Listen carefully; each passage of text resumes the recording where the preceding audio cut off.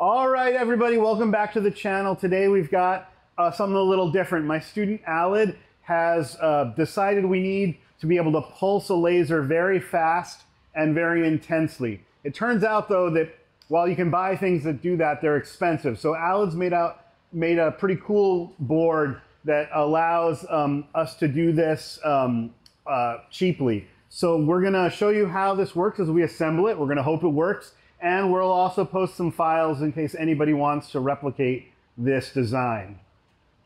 All right, so basically how this works is we have plus 200 volts in here. Uh, this goes through a diode just to make sure the current's flowing the right way. And we have over here what's called an avalanche break breakdown transistor. So basically what this is, is it's a transistor where it's off most of the time, but when it starts to conduct, you have electrons going through the, the transistor body and then they start knocking other electrons off the silicon. It's not normally a regime you want to operate a transistor in because it usually blows them out, but if you do it for a couple nanoseconds, that's fine. And this transistor is specifically designed to have an avalanche breakdown of about 80 volts, which is what I suspect we'll have to charge this to to get the avalanche effect. Uh, so that lets us put through a very, very short, very, very high current pulse through this network of resistors and capacitors which shape that pulse. That goes through a laser diode, which will be mounted here. But on the back of the board, we have these resistors here. So these are very small resistors, and we have all of them wired in parallel. So basically, when we have, you know, 30 amps going through these resistors, we'll get a pulse that's about a volt out. And so that pulse will come out on here. And we'll be able to see how much current we're putting through the diode, see that our pulser is working, and then we can estimate how much power we're putting out. Um, then all over here, we just have a bunch of circuitry so that instead of having to put, you know, 200 volts in manually with some expensive power supply, we can generate it with a buck boost converter from uh, just a 12 volt DC barrel jack, which is pretty normal. Um, and that's basically the whole circuit. It's not very complicated, and I'm hopefully hopeful that it'll work because um, this this circuit's been.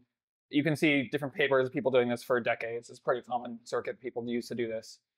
All right. So first thing I'm doing is I'm doing a uh, just a manual paste application. So everywhere where I'm going to populate a component that I'm going to solder down, I'm going to put some solder paste there. And then after I put all the solder paste, we'll go through and populate all the components that we're soldering. Uh, this board has a backside for, for an opto isolator to isolate the pulse input from the actual 200 volt circuit. For now, we're not going to populate that, and we'll just use a pulse generator we don't mind blowing up because uh, it just adds extra complexity to the board. These are the big beefy capacitors that the switching regulator uses to charge up to 200 volts.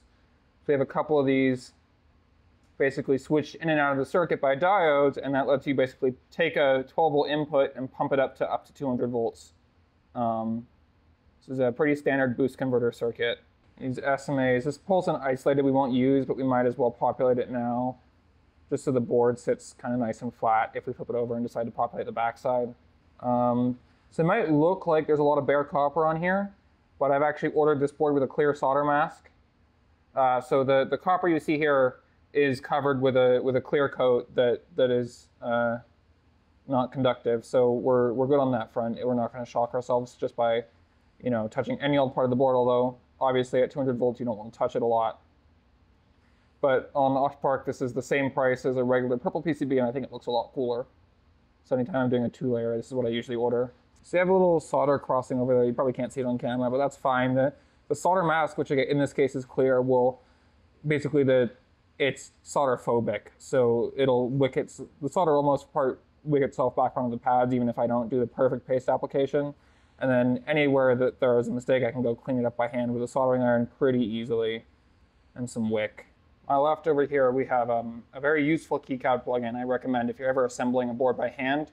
It's called a IBOM to HTML, and basically it just makes a little website from your board that you can just click on and it'll um, give you the part number and the location and everywhere that same part is populated. You can link in the data sheets. You can link in the um, you can you know link it to like the in this case I've linked in the DigiKey part number, so I can just look at a bag and then Control F and find the place on the board that's pretty handy. And for that reason, I'll often forego reference designators on the board itself, just to make it a little cleaner. That's not, I know that's a little bit of a controversial thing to do, but I tend to prefer it that way. All right, so now we move on to placement. Um, so I've got, you know, I like to start with any active components, i.e.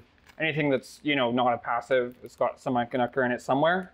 So I'll start with all the diodes and the um, various ICs that we've got on here.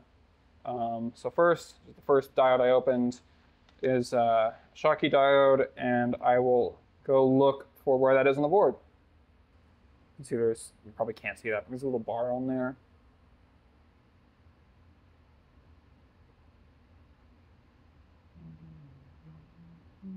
Then the NPN transistor. Um, I bought a couple of these because we're gonna we're gonna be putting a lot of current through them, and there's a decent chance we'll blow up one.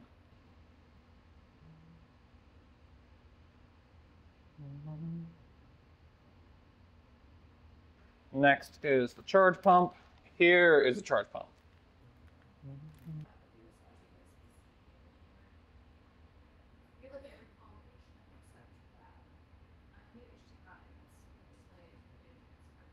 All right, so the very boring part where I just quickly sort all my capacitors and resistors. And I can sort the components by their value here, and then it's easy. I just have, I go through my stack, I look where it is, I place the resistor. So this form is part of the voltage divider along with some variable resistor, with some uh, potentiometers, which gets us a tunable voltage um, just handy because we don't know we won't know the exact breakdown voltage of this uh, transistor. So I have two ranges on here, one that's you know zero to 70 or 80, and one that's like 50 to 200, uh, just so you can tune them fairly finely. And these resistors, it's basically never a big power resistor. Unless it's a big power resistor, they're basically uh, don't cost any more to buy 10 and it costs to buy two, so I'll often buy 10 or more. And then we have a reel, so we can use it either A, if we lose something, or B, if we uh, make another board, we don't have to order that same batch of component again.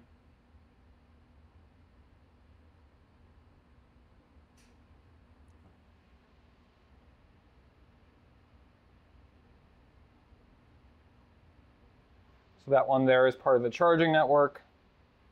And then we have all these zero ohms and the pulse shaping network. We might replace these with like, you know, 0.5 ohms or something, depending on how the pulses look. Although there's a sense resistors in the back, which probably are plenty of resistance to kind of get the kind of pulse shape of, you know, 10 to 100 nanoseconds that we're looking for.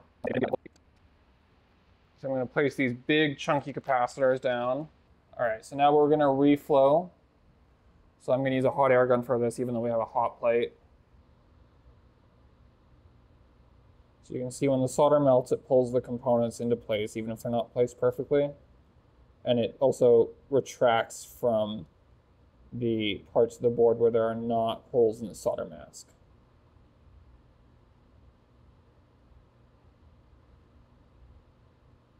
We had a tombstone there.